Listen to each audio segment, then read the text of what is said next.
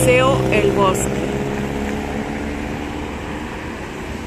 Bueno, ahora sí a regresar, cansada pero a regresar.